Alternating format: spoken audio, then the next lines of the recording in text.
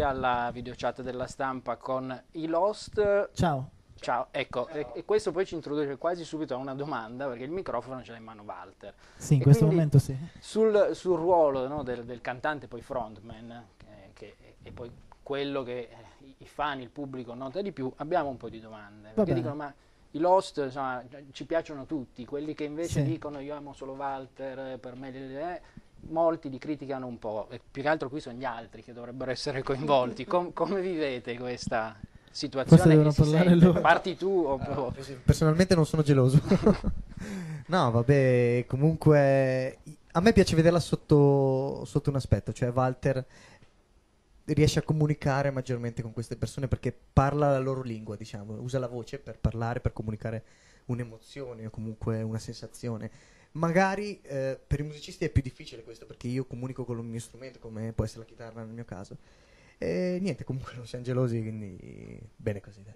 insomma, non, è, non è un problema. Adesso no, non stiamo a fare proprio tutta la, la carrellata, ma poi arriveremo alle domande, era subito per entrare un po' nel vivo, sono mh, tantissime, lo dimostra il plico di fogli, più di 200 quelle che sono Però arrivate. abbiamo tempo, no? Abbiamo un po' di tempo. Poi molti, siccome ci tenevano particolarmente a fare la loro domanda, l'hanno ripostata più e più volte per cercare di essere poi in testa no? e, di, e di arrivare. E non verrà letta apposta. 190 Eh, no, no. Prima però di dare spazio alle eh, domande dei fan, eh, una curiosità sulla vostra giornata di oggi, Sì. perché oggi è il Lost Day. Esatto. Cosa succede? La gente potrà seguirci grazie a internet in tutta la nostra giornata. Oggi per noi è un, eh, un giorno importante, abbiamo questa grande manifestazione che è la MTV Day, eh, dove suoneremo. Quindi avranno la possibilità di vedere quello che succede prima di un concerto. Quindi diciamo è un, eh, una nuova esperienza che cerchiamo di dare alla gente. E questo collegandovi sul vostro sito, Sì, il ovviamente. nostro facebook.com slash lostofficial, da lì poi si diramano tutti i nostri canali. Ecco, a proposito di, di MySpace, per voi ha eh, giocato un ruolo importante nel, nel 2006. in Molto importante, no? Eh, molto è- importante canale- perché è stata una piattaforma che ci ha permesso di caricare la nostra musica e di farci conoscere dal pubblico, non solo dal- della nostra zona di Vicenza, ma andando fuori, fuori dalla regione. E quindi questo ci ha permesso poi di fare dei concerti, di entrare in contatto con eh, altre manifestazioni e poi con l'attuale etichetta discografica, la Carosello Records. Quindi MySpace in generale, i social network, ne fate ampio uso e, Sì, sì. e Sì, perché comunque ti dà la possibilità di mm, creare un ponte tra te e il, e il pubblico, quello che magari una volta mancava, e quindi bisogna sfruttarlo nel migliore dei modi. Domanda per Walter a proposito di internet e social network. Leggi coi men- i commenti che noi fan eh, mandiamo su MySpace. Leggo tutti i commenti che mi mandano su MySpace. Purtroppo i messaggi è più difficile perché ci sono delle persone che mandano tipo 30 messaggi uguali, quindi tolgono spazio magari ad, altra- ad altre persone, quindi anzi invito, non mandate 30 messaggi uguali, mandatene uno così lo leggo. Il eh, MySpace e i social network sono un canale per comunicare direttamente con eh, Sì. i fan e nelle domande ci, ci sono proprio molte curiosità nel vostro rapporto con il, il vostro pubblico. Ad esempio Sebi ci scrive, quando leggete i cartelloni delle fan su di voi, che cosa provate durante un concerto? Insomma.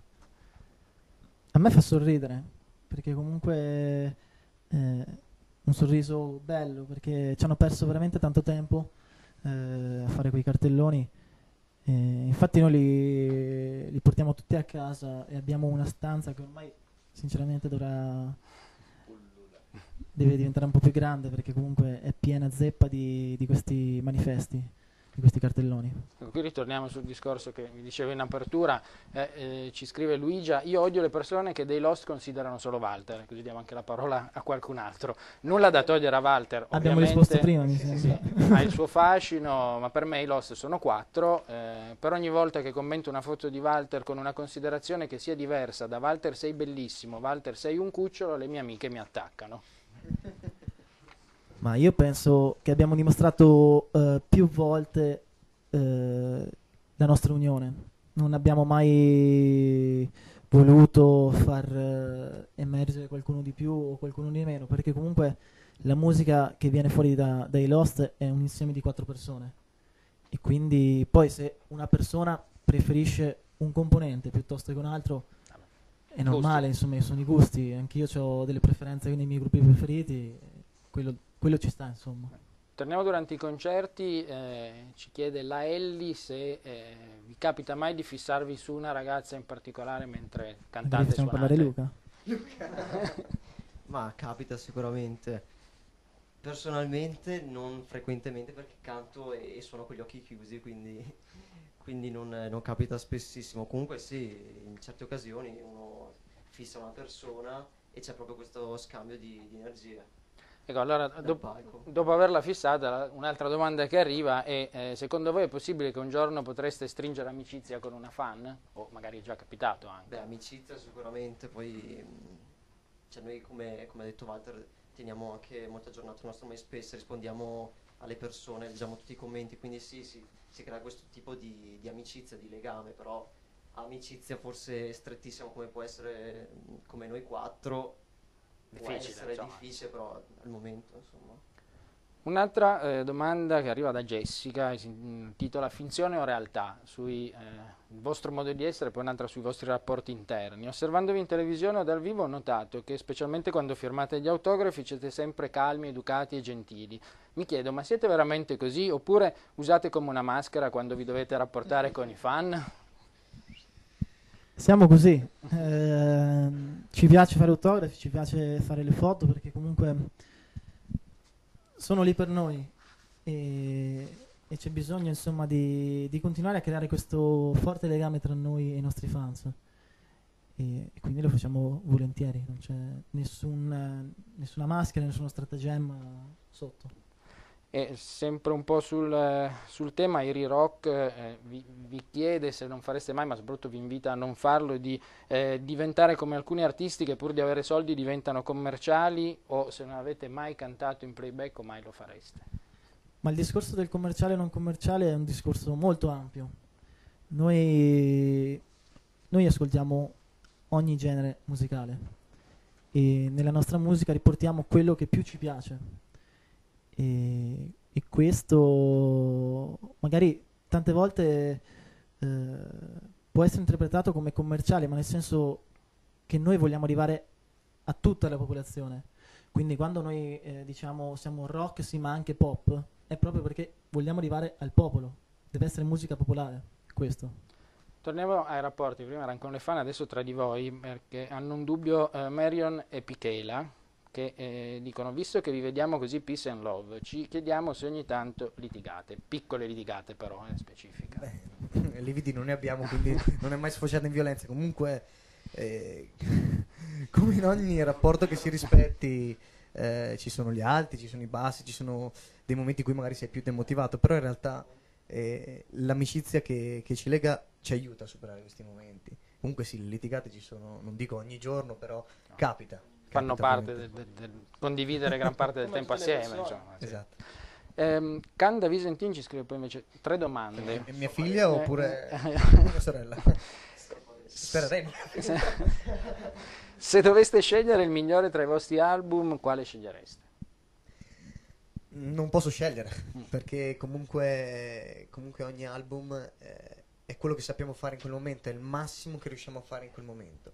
E sceglierne uno sarebbe quasi come rinnegare i dischi vecchi, però in realtà sono molto soddisfatto del percorso che stiamo facendo e, e non voglio nemmeno immaginare come sarà il percorso futuro, perché sarà sicuramente diverso da quello che immagino.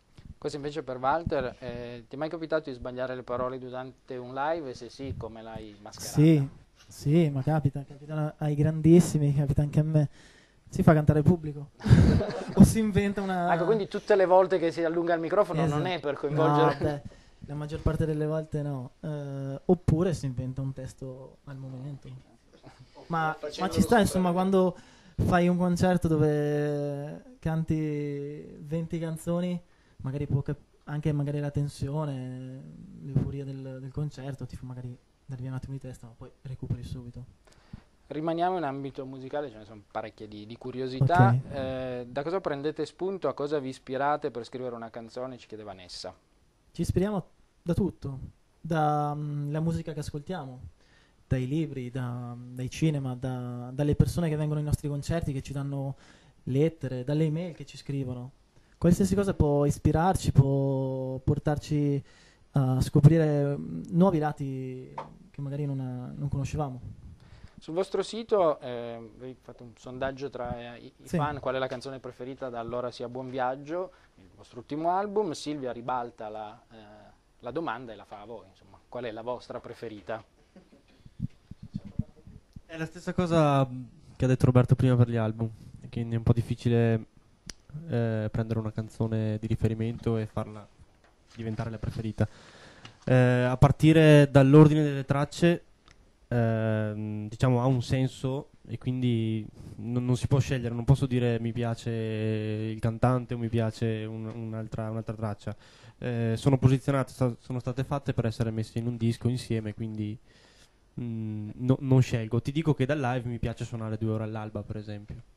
E eh, qui eh, aggiungo un pezzo di domanda, nel, nel scegliere però i singoli, quanto conta il fatto che quella veramente mi piace di più oppure quella può funzionare di più in questo momento per raccontare tutto l'album?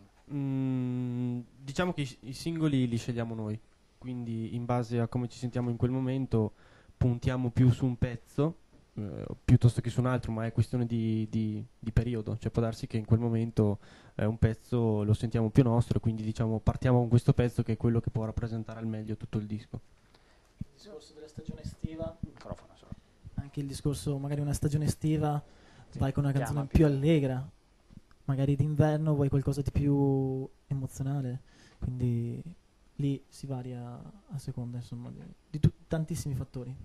Ci sono un po' di, di spiegazioni, mi chiedono. Federica eh, chiede, nella melodia di Aria a un certo punto si sentono delle parole, che cosa dicono? O le sente solo lei? No, le sentono tutti, ci sono, ci sono. Eh, sono dei campioni che vengono usati eh, per creare, sì, com- come ha detto Filippo, per creare atmosfera e richiama un po', diciamo, mh, le conversazioni che si fanno in aereo eh, con l'aeroporto. Quindi nulla di, Sì. di nascosto dietro, solamente una voce che ci piaceva, che creava quel che dava quel qualcosa in più al pezzo. Insomma, non è che ascoltandolo al contrario si sentono i No, messaggi. non si sente nessun eh, messaggio. ecco. Altra spiegazione sul... Compra il disco, No. compra il disco. Altra richiesta di spiegazione eh, sul significato di due ore all'alba. Francesca Ok. vorrebbe capire bene il senso del testo. Il senso lo deve trovare lei. Ognuno deve prendere un testo di una canzone e farlo suo. Io ho la mia interpretazione, che è stato un momento di sfogo dove eh, ho voluto eh, ricominciare, ma in realtà non posso nemmeno dirle la spiegazione, perché come ho detto, ognuno la può interpretare come vuole. E secondo me questo è il potere della musica. Ancora una eh, spiegazione, in questo caso ma non, non sul testo, a chi è dedicata allora sia buon viaggio. Allora, se Buon Viaggio è dedicata a noi, che siamo in viaggio, che abbiamo voglia di, di scoprire sempre nuove cose, quindi ce la siamo dedicata a noi stessi. Qui ampliamo un po' il, il discorso con eh, Enzuccia che eh, vuole sapere come scegliete i brani da mettere in un album. Insomma, immagino che ne, ne- produrrete, ne scriverete di più, poi si deve... Sì, quelli che ci sembrano più completi in quel momento e che riescono a creare, come diceva Filippo, un album completo. Quindi pri- tu devi mettere il disco e devi ascoltarla dalla prima all'ultima traccia e non andare a metà, tra- a metà disco. Devi iniziare, eh, c'è un inizio e c'è una fine. E a- ampliando un po' la domanda, invece, quando si costruisce la scaletta di un live, co- come si fa? Cioè, c'è è- un ingrediente... Lì è serie di- diverso. Lì è diverso perché mh, si va più sul, eh, sul fatto di creare degli stati d'animo diversi. Quindi magari dei momenti più energici, altri più, più pacati, più emozionali. E per poi deve essere comunque una, mm, un concerto sempre in crescendo. Si parte e poi si raggiunge l'apice. E quanto però vi influenza nel formare la scaletta il sapere quali sono i pezzi che comunque il, il pubblico vuole? Ma in realtà non ci abbiamo mai fatto caso su questa cosa. Abbiamo sempre messo i pezzi che ci piacciono di più, che stanno bene mh, amalgamati tutti insieme. Ovviamente i singoli, la maggior parte dei singoli sono brani che sono perfetti in una scaletta live, quindi non ci sono grandi pensieri rivolti, diciamo, a quali sono le canzoni più belle. Parliamo di collaborazioni. Kika, dice, avete già collaborato con un artista straniero, Joel Madden, avete in programma altre collaborazioni con artisti stranieri o italiani? No, al momento no. Allora magari il suggerimento ve lo dà eh, Marion che ha sognato che stavate collaborando con i Finlay. Eh, Che non è straniero. lui- no, in questo caso no, però eh, così ha Se un giorno ci sognato. sarà la possibilità, insomma, Poi. Una serie di, di curiosità. eh, cosa, avete fa- cosa avreste fatto se eh, con la musica fosse andata male? Qui magari facciamo una carrellata. Beh, sicuramente avrei continuato a studiare e probabilmente sarei diventato ingegnere. Mi piaceva la matematica, la fisica, quelle cose lì.